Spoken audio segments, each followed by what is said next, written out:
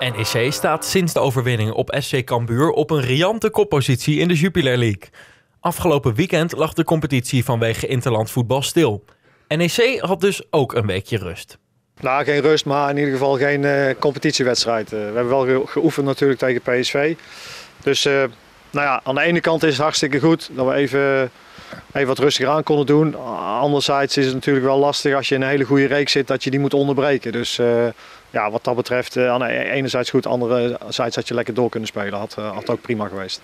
Sommige spelers hadden zelf interlandverplichtingen. Ja, nou ja, FV die is weg geweest naar, uh, naar Oranje en uh, naar Zweden. En Golla is weer inzetbaar. Groeneveld gaan vanuit dat hij gewoon kan spelen. Dus wat dat betreft heeft hij anderhalf weken inderdaad goed gedaan om te kijken van nou, wie kunnen we weer aansluiten en, en wie hebben we weer aan boord. Vrijdag is de Graafschap de tegenstander. De trainer heeft wel een vermoeden hoe de superboeren zullen gaan spelen.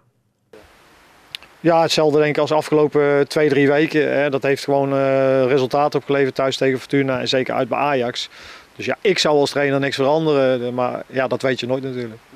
NEC-watcher Jasper van Gruithuizen kijkt met plezier uit naar de wedstrijd.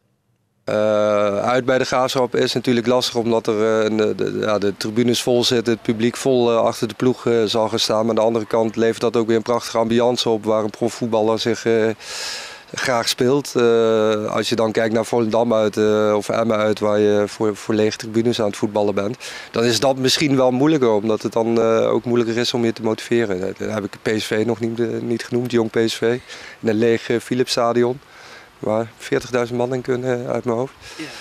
Ja, ja. De Superboeren hebben in 12 wedstrijden 9 goals geïncasseerd.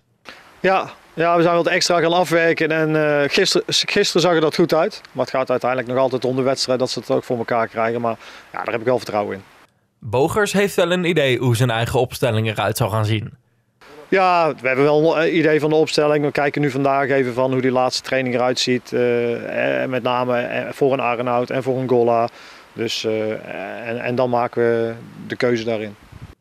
Vrijdag om 8 uur in de Vijverberg in Doetinchem, de Graafschap NEC.